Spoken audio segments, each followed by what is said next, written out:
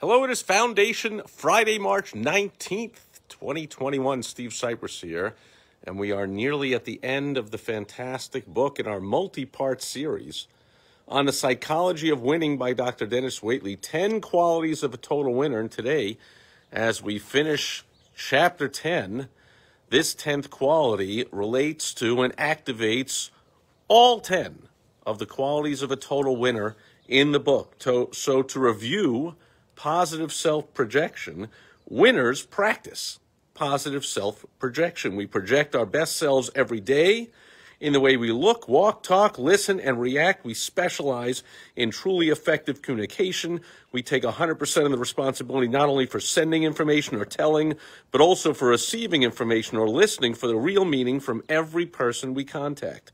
Winners are aware that first impressions are powerful and that interpersonal relationships can be won or lost in about the first four minutes of conversations. Winners say, I'll make them glad they talked with me. To a winner, you'll say, I like me best when I'm with you. Nothing marks a winner so clearly as a relaxed smile and a warm face that volunteers his or her own name while extending a hand to yours, looking directly into your eyes and showing interest in you by asking questions about your life which are important to you. That, the first W in the WOW strategy, it's all about the who not all about you. Winners know that paying value to others is the greatest communication skill of all. A winner's self talk is tell me what you want. Maybe we can work on it together.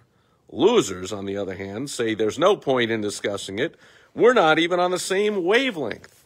Man, that uh, describes a whole lot of what's going on in social media. Uh, for the past uh, few years, does it not? So, here are 10 action steps you can take to have more positive self projection. And you might recognize a theme here. Each one is going to relate to one each of the 10 qualities of a total winner that we've covered in this multi part series on this great book, The Psychology of Winning by Dr. Denis Waitley. Number one, po- project positive self awareness. Easy for me to say. Observe the wonder and abundance in nature and stop feeling sorry for yourself. If you're alive and you have some degree of good health, You've got it made. Try looking at yourself through others' eyes. Chapter 2 Project positive self esteem. Get that deep down feeling of your own worth and pass it along to others. Talk yourself and others up.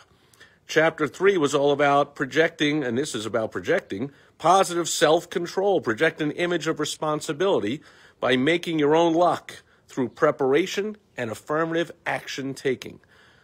Chapter 4 positive self motivation. Project that and motivate yourself and others by focusing on the rewards of success, forgetting the penalties of failure. Number five, project positive self expectancy. Your enthusiasm will be wonderfully contagious and infect almost everyone it touches. Number six, project a positive self image. Project your creative imagination and always present a positive preview of your coming attractions with vivid descriptions. And action step number seven for more positive self direction is to project, po- uh, for more positive self projection, is to project positive self direction. Put your own goals down on paper and then share them with those who can help you achieve them. Number eight, project positive self discipline. Talk to yourself over and over again when you are relaxed, visualizing yourself in the act of enjoying and completing each of your current goals, then complete the projects that you begin. And action step number nine is to project positive self dimension. Project yourself as a winner who creates other winners too. And finally, action step number 10 for more positive self projection is to project positive self projection. What do you know? Don't just read The Psychology of Winning as another book. Go out and do it. Speaking of which, go out and be back here next Foundation Friday for the wrap up as we wrap it up on the fantastic classic book, The Psychology of Winning by Dr. Denis Waitley.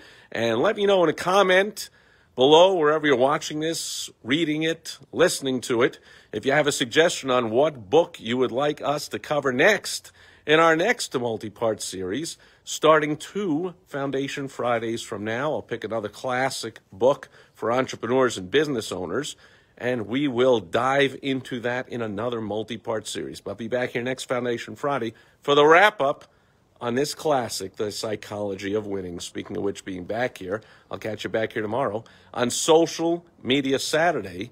We have news on the social media front that will help you make more money in your business. I will see you then. Enjoy the rest of your day, and hopefully, it's as beautiful out wherever you are. Catch you tomorrow. Over and out. Bye bye.